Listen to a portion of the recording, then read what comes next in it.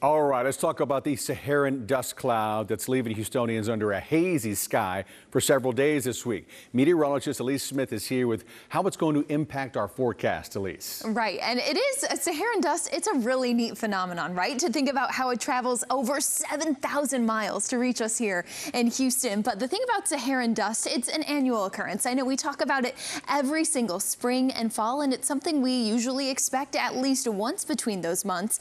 But surprisingly, it's one of the least studied atmospheric phenomena, and that's according to the leading climate agency in Europe, Copernicus. Additionally, dust can be tricky to forecast, and forecasting its impacts can be even trickier.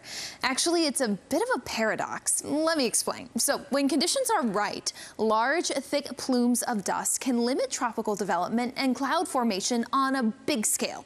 We like Saharan dust because it keeps the tropics quiet. You hear us say that all the time. But on a smaller scale, dust can aid in rain or even hail forming within showers and storms, acting as something for water vapor to condense onto. So the presence of dust can do this. It can lead to heavier showers when conditions are right.